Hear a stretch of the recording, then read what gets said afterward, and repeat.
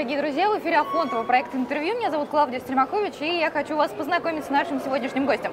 Кандидат биологических наук, лауреат премии «Просветитель» Александр Панчин. Александр, здравствуйте. Здравствуйте. Вот вы преподаете на лекторских площадках такой курс по защите от э, магии и темных сил. У вас даже книжка про это есть. Вот э, скажите, маги, чародеи, колдуны, они существуют? Ну, до сих пор ни один маг, экстрасенс, чародей не продемонстрировал, что он такими способностями обладает. У нас есть э, премия, которая называется премия имени Гарри Гудини. Мы предлагаем миллион рублей за демонстрацию любых паранормальных, сверхъестественных способностей. У нас уже было 15 проверок, пока что все с отрицательным результатом. И аналогичный опыт у всех западных коллег, которые делали это задолго до нас. И, соответственно, я крайне скептически отношусь к существованию такого рода явлений. И для меня Э, собственно, защита от темных искусств – это, прежде всего, защита от тех когнитивных искажений и тех ошибок мышления, из-за которых люди могут верить в то, что, чего на самом деле нет. А почему мы в это верим? Вот что нас заставляет поверить в то, что вот это чудо возможно? Ну, существует очень много механизмов, за счет чего мы можем во что-то поверить. Например, люди очень легко строят причинно-следственные связи там, где их нет. Очень распространена ошибка, которая называется «после значит следствие». А, грубо говоря, петух покукарекал, солнце взошло, Означает ли это, что если мы петуха зарежем, то солнце больше не взойдет? То, что два события находятся хронологически одно за другим, не означает, что между ними есть причинно-следственная связь. Но люди очень часто делают такую ошибку. Они думают, вот мне было плохо, я сходил там к целителю, и мне стало лучше, следовательно, целитель помогает. Или а у меня была бородавка, бабка заговорила бородавку, через пару дней бородавка пропала, следовательно, бабка смогла с помощью какой-то магии меня от бородавки избавить игнорируя тот факт, что такого рода заболевания часто могут пройти совершенно независимо от такого типа колдовства. Но это вот один из примеров того, как наш мозг э, легко ошибается. Э, можно привести массу других. Например, люди очень склонны анимировать э, неодушевленные объекты. У нас есть очень полезная способность, сформированная в процессе эволюции, такая как а, психологи называют модель психического, можно построить модель чужой психики. Ну, то есть представить, о чем думает другой человек, какие у него эмоции, какие у него а, там, взгляды, что он собирается сделать, его мотивы, цели и так далее. Но вот из-за того, что этот механизм анализа других людей у нас существует, мы часто применяем его и интуитивно легко его применяем к объектам, которые разумом не обладают. А, там, Серкс приказал высечь в море после того, как она утопила часть его армии, потому что... Почему? Ну, предположил, что в море есть какие-то чувства, которые можно кнутом э, вызвать, наказать это самое море. Вот такого рода примеры э, существуют и в нашей повседневной культуре тоже. А вот вы не боитесь, что вас там кто-нибудь э, заколдует за такие слова? Меня уже пробовали, и как бы как-то не работает. Не работает? На вас не ну, работает? Как известно, нет. Ну так в этом-то и суть, что если вы возьмете человека, который не верит во все это, то вы его и не можете заколдовать. А только в том случае, если человек верит, на него можно оказать психологическое давление. То есть представьте себе, что у вас есть человек, который искренне верит, допустим, в существование порчи. Ему звонит по телефону условно какой-нибудь экстрасенс и говорит, э, на вас родовая порча, я с вас сниму эту порчу, только вам придется продать квартиру и отдать мне все деньги. И вот есть люди, которые так делают. То есть они пугаются, как это родовая порча, она еще передастся моим детям. И такой вот э, человек еще им скажет, что если э, вы этого не сделаете в течение ближайших двух дней, то вообще все, все, все пропало. Вы подумаете о ваших внуках, там еще в таком, в таком духе. И люди, которые в это верят, находясь под таким психологическим давлением, если оно оказано, э, скажем так, профессиональным мошенником, то они легко идут на, вот, на поводу.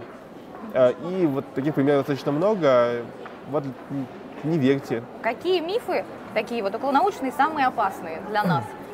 Мне кажется, в современной реальности самое вот опасное из того, что так, массово тиражируется, а, это альтернативная медицина, то есть самые разные подходы, не имеющие доказанной эффективности, а, которыми пытаются лечить людей, а, люди, не обладающие достаточными знаниями в области медицины и в области того, что такое наука.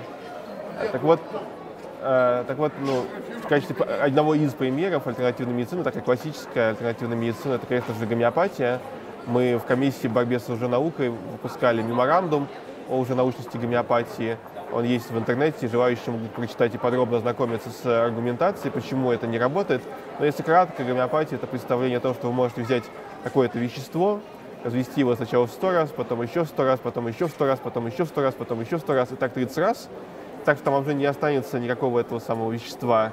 И этим лечить самые разные болезни, включая в том числе и очень серьезные. Например, есть примеры, как э, гомеопатия лечили онкологические заболевания, а, и в результате э, люди э, не получали должного лечения, которое им было необходимо. Например, у меня есть знакомый онколог, рассказывавший такую историю из личной практики, привели мальчика с опухолью в щеке диаметром 20 сантиметров.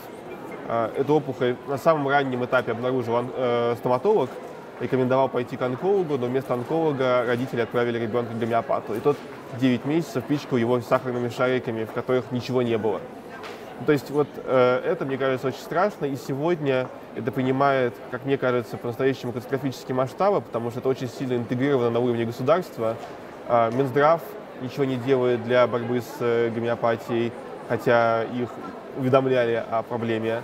Э, у нас есть, э, скажем так, в Академии наук люди, которые занимаются в том числе торговлей таких вот э, такими вот сахарными шариками. То есть некоторое лобби существует. Вот вы опубликовали меморандум. Что-то поменялось? Я недавно сходила в аптеку, мне снова порекомендовали средства от простуды, ну, вы, наверное, знаете, французское такое, да. из печени утки. А открыто провизор мне его рекомендует. Ничего не поменялось? Ну, что-то поменялось. Э, во всяком случае, появилось некоторое больше общественное давление, и появилось больше людей, которые не боятся Э, скажем, работая в аптеке, э, сказать, допустим, клиентам, которые пришли туда, что, вы знаете, мы, конечно, вам продадим гомеопатию, потому что мы обязаны, но мы вам не рекомендуем. Ну, вот такого рода вещи. И про это пишут мне люди, которые с этим сталкиваются, с таким вот опытом делятся, что появились люди, которые более открыто выступают против гомеопатии как в медицинской среде, так и в среде там, аптекарей, а, так и э, если речь идет какие-то курсы, то есть есть курсы, где прямо по гомеопатии э, и, и, и студенты начинают э, выступать на тему того, зачем вы нам это преподаете. Угу. Насколько опасно заниматься вот таким вот развенчанием мифов? Насколько другая сторона, альтернативная наука, она вот агрессивно реагирует на развенчание ее мифов?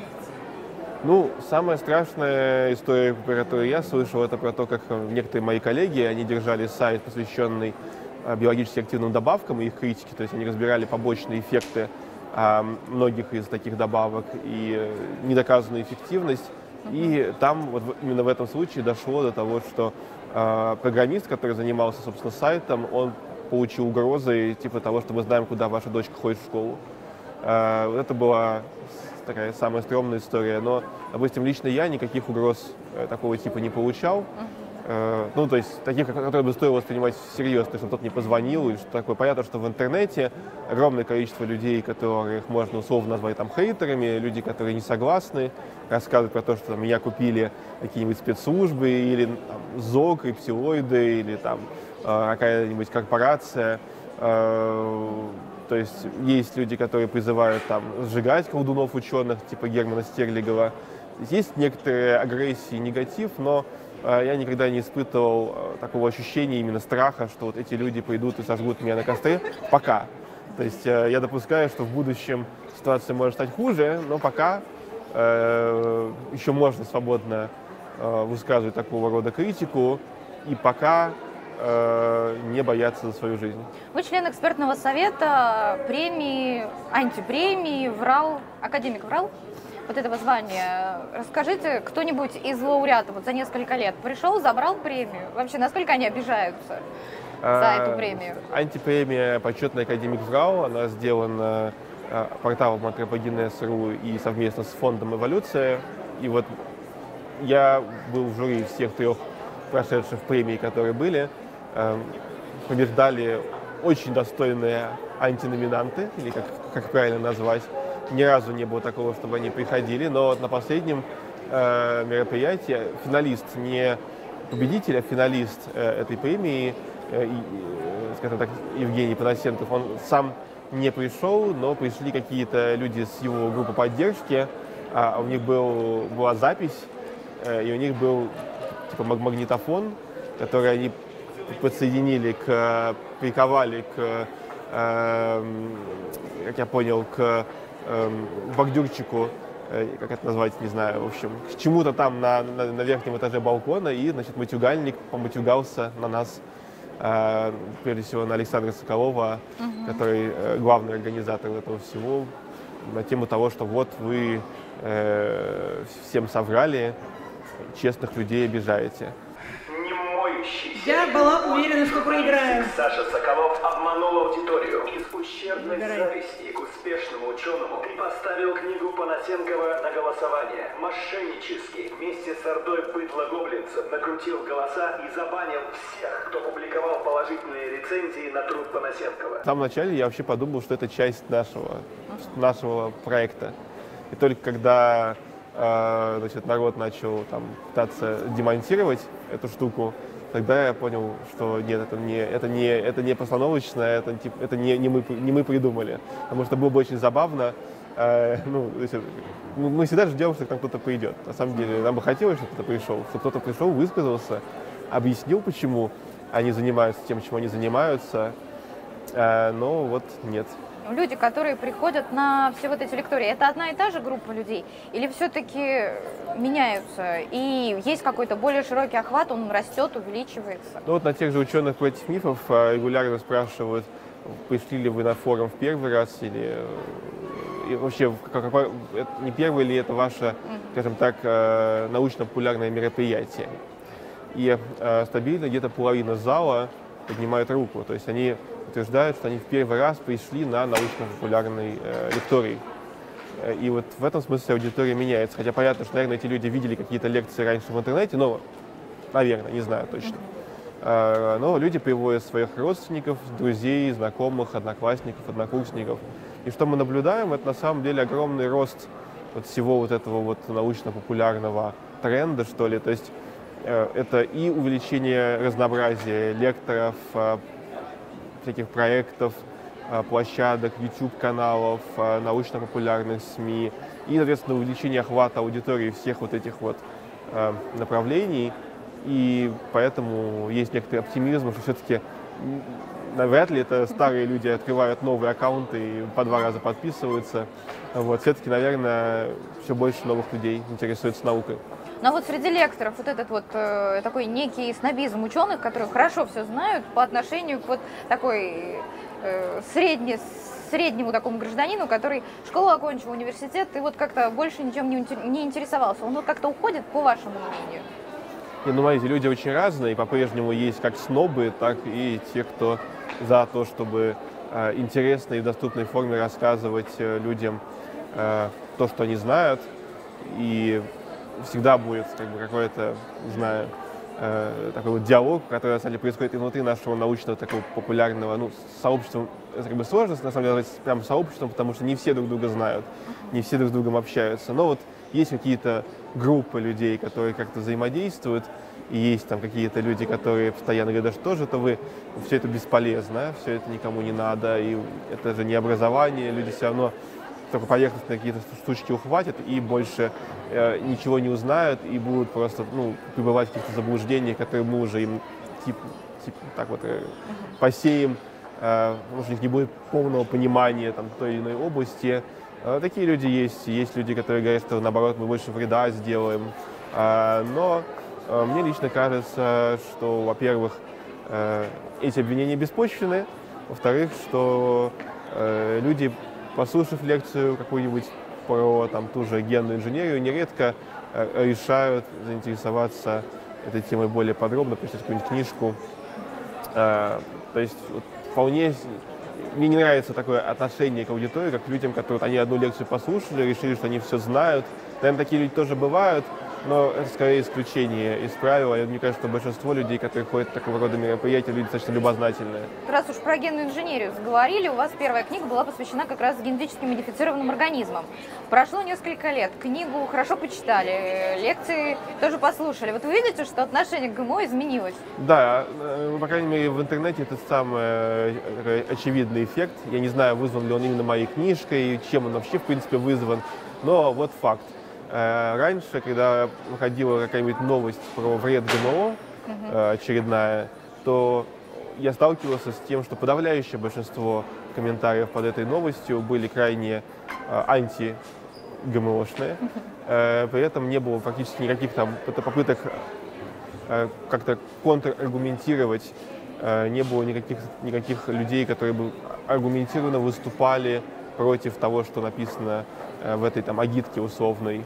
А сейчас ситуация изменилась. Если раньше я чувствовал для себя необходимость выступить вроде того человека, который разбирает эти мифы, теперь мне этого делать вообще не приходится. То есть появляется какой-нибудь новый очередной там ролик антигмошный, какая-то передача, какая-то статья, и под ней уже куча людей комментируют, э, что послушайте какую-нибудь лекцию, уже хватит повторять одни и те же страшилки, эти глупости.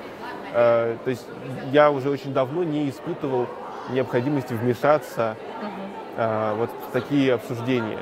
И для меня это такой показатель, что что-то изменилось, по крайней мере, в интернете. Ну вот поставьте точку для наших телезрителей. Э, ГМО это вредно или нет? Если съешь генетически модифицированную морковку, например, станешь морковкой? Э, генетически модифицированная морковка э, ничем принципиально не отличалась бы от обычной морковки. То есть все риски, которые мы можем предположить, что они могли бы быть для генно модифицированного какого-то сорта, такие же риски могли бы быть и для любого сорта растения, полученного любым другим способом, будь то там селекция с использованием или без использования там радиационного мутагенеза э, или просто обычный продукт эволюции. Какой следующий миф готовите для того, чтобы его развенчать? У меня сейчас больше фокус на вот этих релиз-активных препаратах. Это такая современная э, аналог гомеопатии. То есть, по сути, такая же гомеопатия, только в, под новым брендом. То есть создатели осознали, что, видимо, гомеопатия это уже не модный бренд, который утрачивает доверие, потому что люди про это очень много говорили, выступали. А, и вот они назвали свой препарат релиз активная. Э, есть российская компания, которая их производит, и как раз э, основатель этой компании, он член-корреспондент Российской Академии Наук. И вот он как раз стал эм, лауреатом антипремии ВРАУ. В этом году, да? Да, а также он, его компания получила антипремию, вот есть премия за верность науке, а есть в ней антипремия. И вот компания, которая производит такие вот препараты, они радиоактивные, получила от Минобра антипремию. Когда мы окончательно забудем про гомеопатию? Сложно сказать, но есть, э, может, никогда и не забудем. То есть э, задача не в том, чтобы мы окончательно про нее забыли. Э, люди имеют право лечиться, чем они хотят лечиться, и я, в принципе, за свободу действий, слова и так далее, и так далее но вот надо бы, чтобы государство про это забыло. Надо, чтобы это не входило в государственные курсы образовательные. Надо, чтобы это э, было правильным образом маркировано, чтобы люди, которые не хотят лечиться медициной с недоказанной эффективностью, были уведомлены о том, что вот это та медицина, которая не имеет доказанной эффективности. Когда мы приходим в аптеку или когда мы приходим в, в клинику, мы хотим, чтобы врач э, или аптекарь назначили, выдали э, те препараты, которые являются наилучшими для лечения того или иного заболевания, чтобы мы не просто деньги на ветер пускали, чтобы это было то, что по современным научным представлениям должно нам на самом деле помочь. И вот трагедия всех этих историй в том, что так вот устроена современная система здравоохранения, что можно абсолютную фигню можно взять и продать кому-то и сказать, что вот это классно. Вот против этого э, я выступаю, и многие мои коллеги тоже. Оксана, спасибо вам огромное за очень интересный, я думаю, полезный разговор. Друзья, э, кандидат биологических наук, лауреат премии «Просветитель» Александр Панчин был сегодня у нас в гостях. Вы смотрели Афонтова. Это был проект интервью. До новых встреч в эфире. До свидания.